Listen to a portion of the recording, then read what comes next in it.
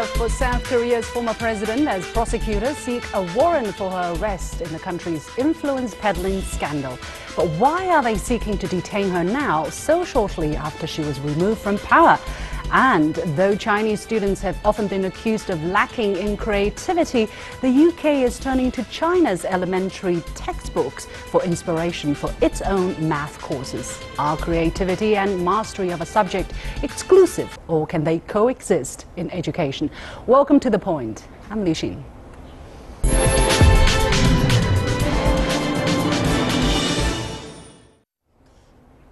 A woman who claimed she was married to her country is facing 13 criminal charges by that country. The former president of South Korea could possibly live behind closed bars after being accused of bribery, leaking government information, abuse of power, among other offenses. The scandal comes at a difficult time for South Korea, which is already contending with uh, sluggish economic growth, sliding exports, and a heightened threat from Pyongyang's nuclear program. Why has has the scandal caused huge chaos in the South Korean society? What are the reasons behind it? Will it give the nation an opportunity to reform itself and fix relations with other countries? To discuss these issues, I'm joined by Ms. Liu Yungying, Assistant Executive Editor and Chief Commentator of Beijing Review, China's national English language news weekly since 1958, and Donald Kirk, a columnist with the Korea Times newspaper. But before our discussion, let's take a look at the timeline of South Korea's political scandal, which led to the impeachment of Park Geun-hye.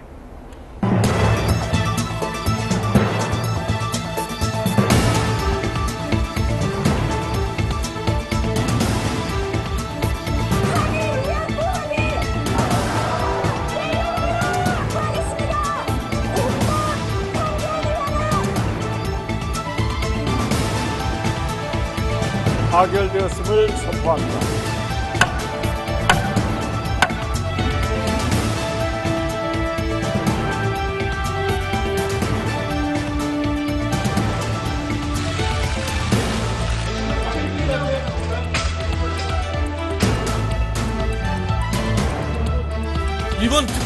핵심 대상은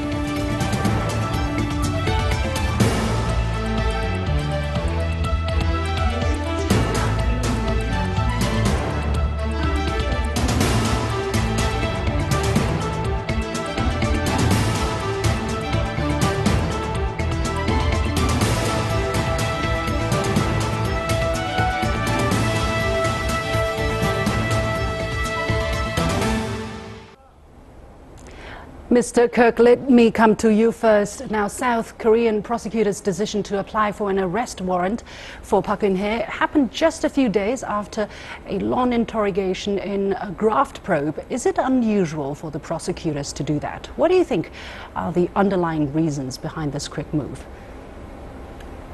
Well, the whole case is extremely unusual.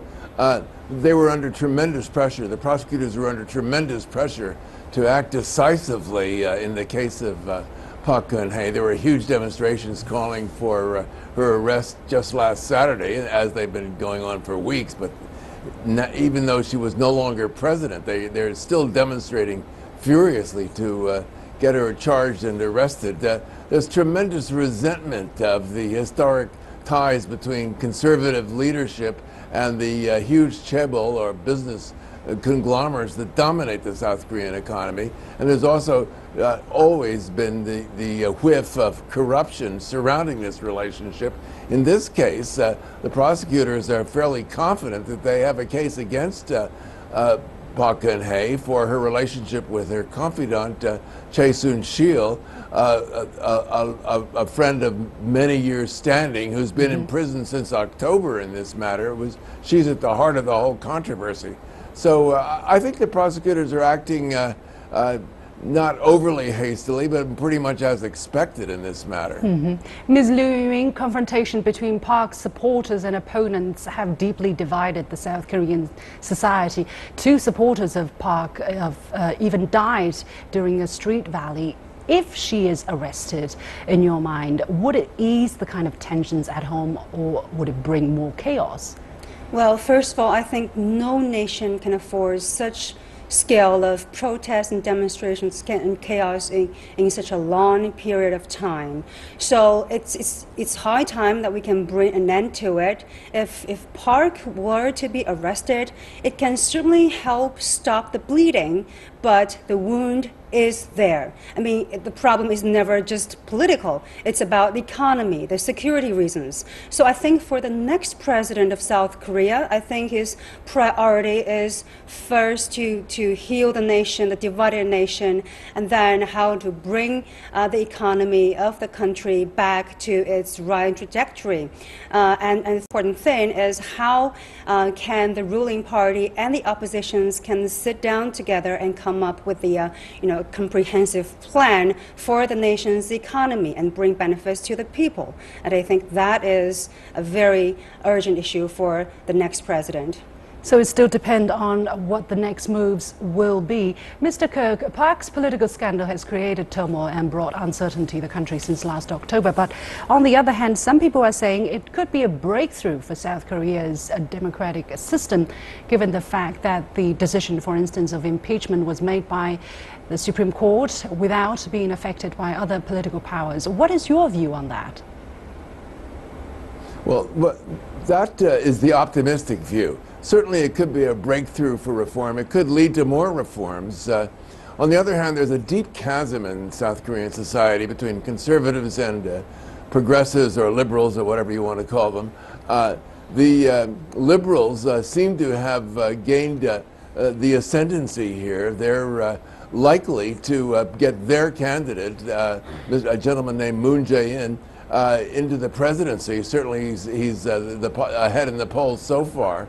But there's tremendous opposition from conservatives. They've been waving uh, Korean national flags at demonstrations, and they've been waving some American flags too, a reminder of the historic depth of the Korean American alliance.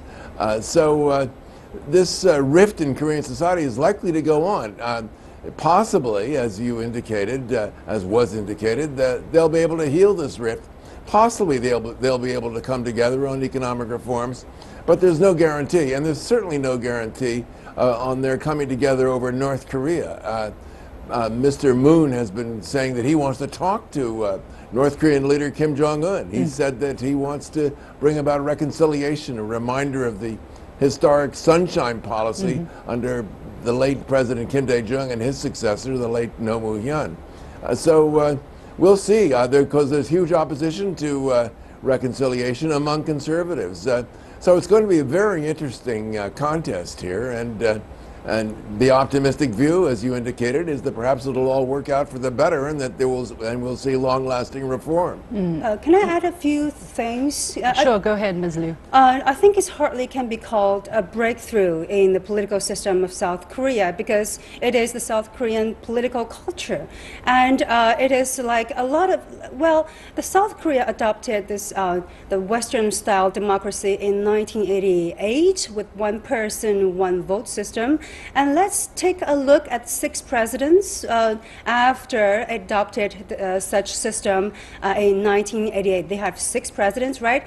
And what happens to them? Let's do the math. Two of them were, uh, uh, uh, you know, thrown into prison, and one of them committed suicide after by jumping off a cliff, and one of them uh, Kim Dong Jun, uh, well, the, the Nobel Peace Prize winner for reaching out to North Korea, and but his three sons were put into prison because of influence peddling and all others. So I think this is this kind of same old story, which is can hardly be called the breakthrough in its political system. I think it's just you know the same thing going on uh, again and again. Mr. Kirk, what is your reaction to what Ms. Liu just said? Are we seeing a really fundamental flaws of the system of uh, the South Korean political system?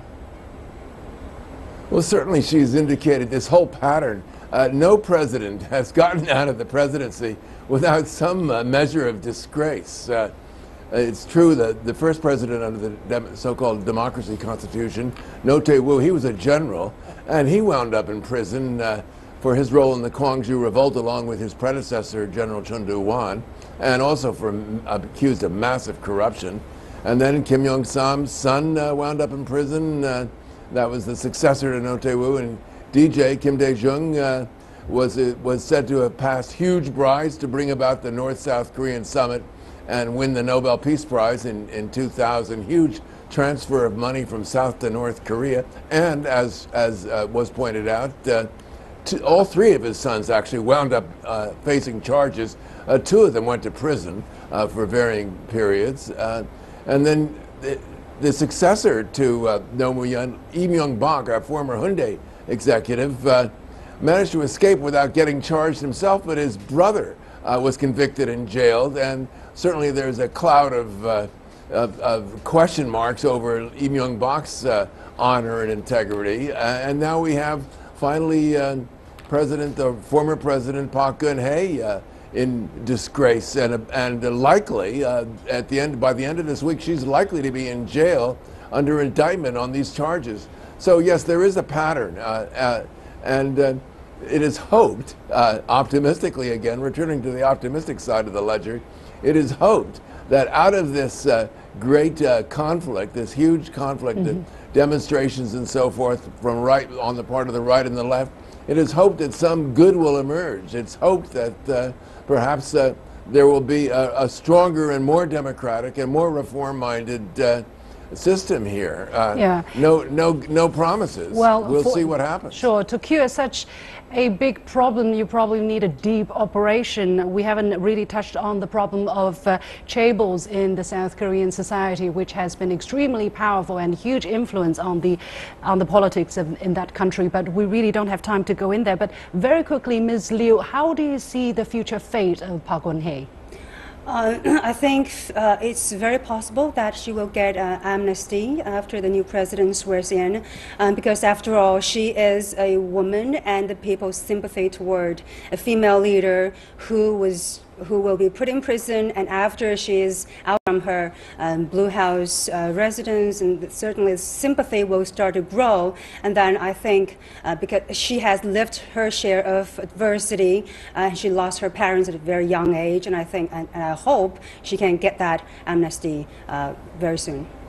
Okay, we'll keep an eye on that and we'll keep the audience updated. Many thanks to our guest, uh, Kirk, joining us from Seoul and uh, Liu Ying here in Beijing. Well, here is my first point. Another month, another chapter in the Park Geun-hye tragedy. Removed from the presidency, facing 13 criminal charges, she has refused to show any regret for the situation or those who could have been saved in the immediate aftermath of the Sewol ferry accident, which killed over 300 people. Clearly, she is not the person many thought. While she bears blame for the events, also do those whose greed and selfish interests led them to use her as a puppet. Each country has its own development path, but clearly there are issues with the systems that depend on money and special interests to elect their leaders. May will bring new elections, hopefully will also bring wiser and better leaders who can create a superior system to serve their people. You're watching The Point. I'll be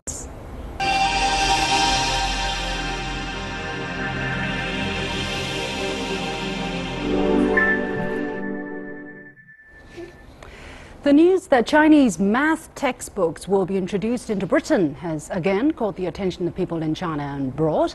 Publisher HarperCollins first introduced the Chinese elementary maths textbooks into Britain in 2015.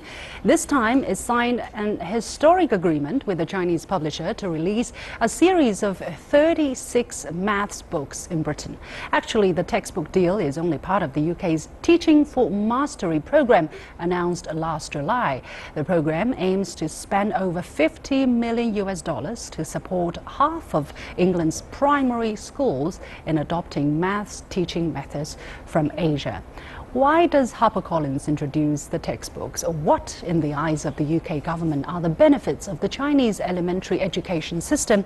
For more insight, I'm joined by Fiona McGlade, Primary Publishing Manager of HarperCollins Publishers, Raymond Delambre, Curator-in-Chief of the French Ministry of Higher Education and Research, and uh, Wang Yan, Director of the Department for International Exchange, the National Institute of Education in China. Na National Institute of Education Science in China. Welcome all of you to our program. Let me go to you first, uh, Fiona McGlade. Tell us more details about the 36 textbooks. I understand they will be available for the next school year. Would they be on the national curriculum? Um, that's correct. Yes, we're going to publish um, in September. Um, there's going to be uh, for the six primary year groups. We'll have a textbook, um, a teacher's guide, a practice book uh, for each year, and there are two terms in each year. Um, they'll be submitted to the government's Teaching for Mastery program, um, and we hope they will be endorsed on that.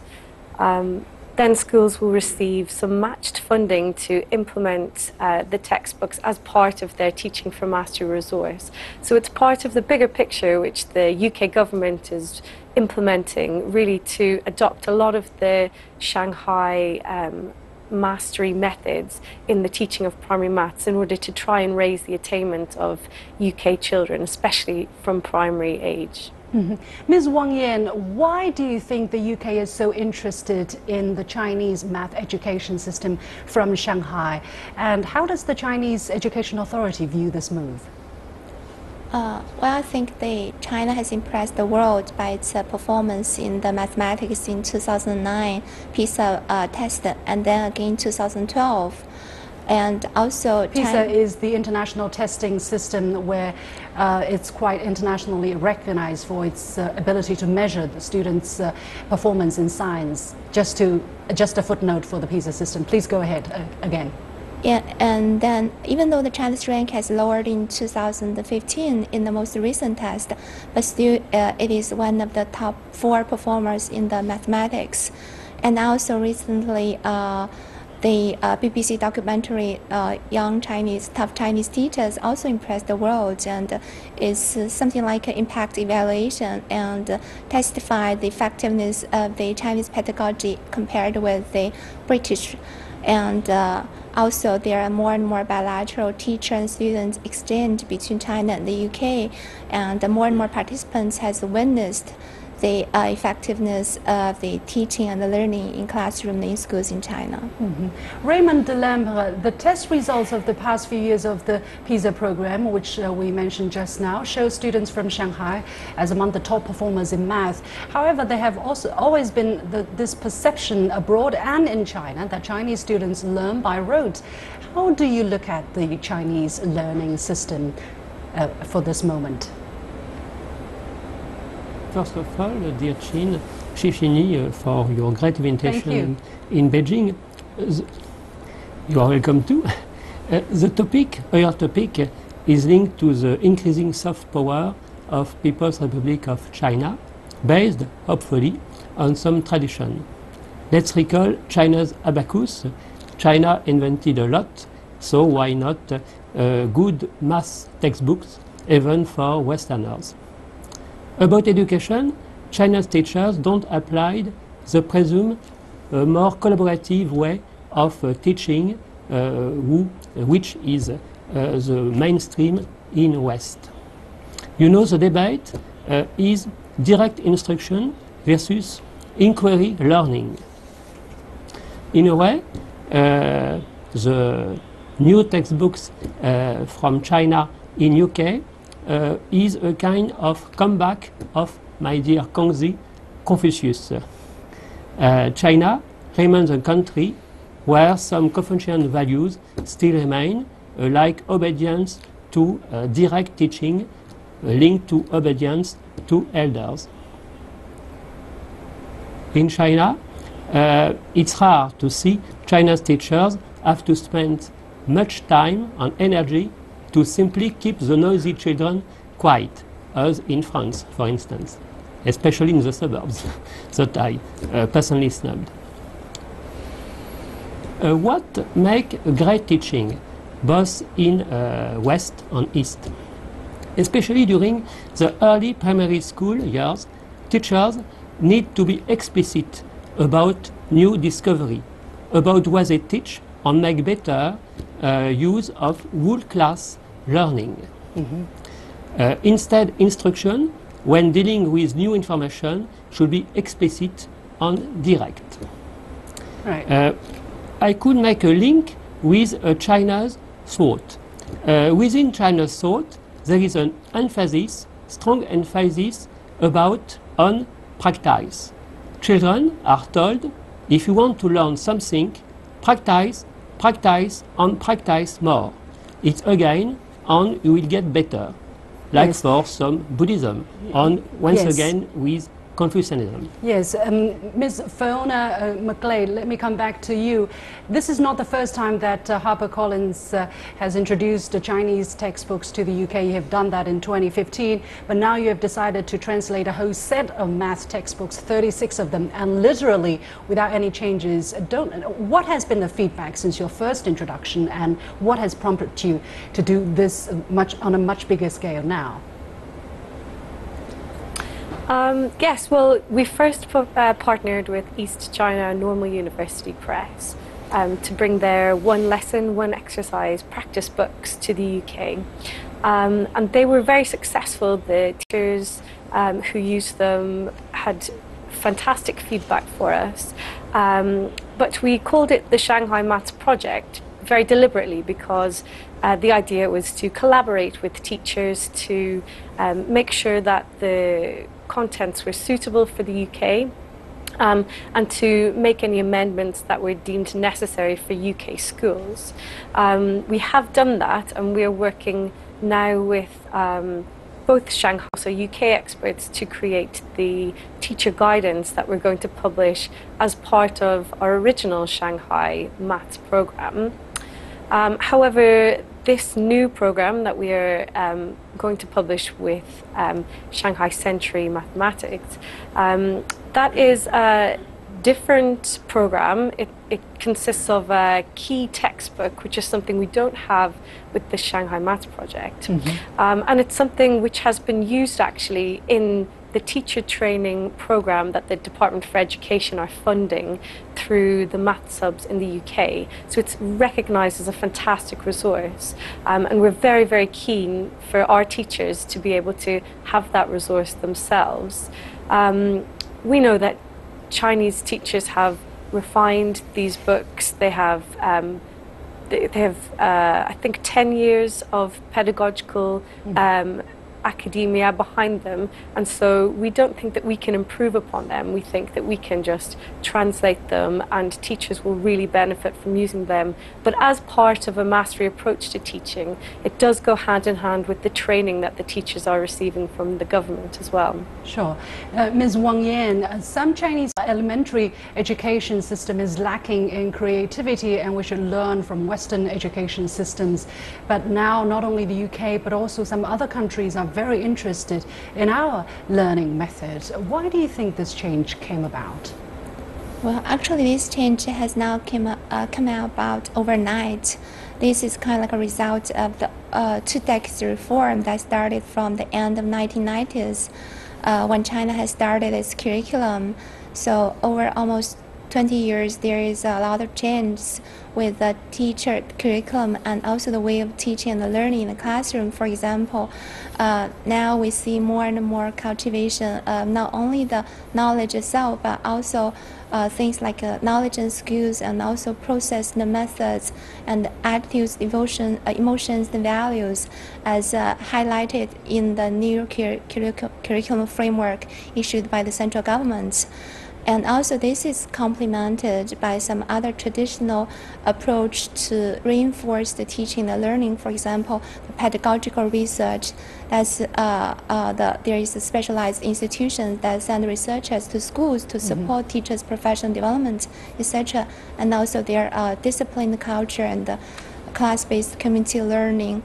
And uh, that all help build sol- solid uh, knowledge foundation for the students. Thank you all very much. Because of time constraint, we have to leave it there. Many thanks to Fiona McGlade joining us from London, to Raymond Delambre joining us from Paris, and from Ms. Wang Yan joining us here in Beijing. You have been watching The Point here on CGTN. My last point is right after this.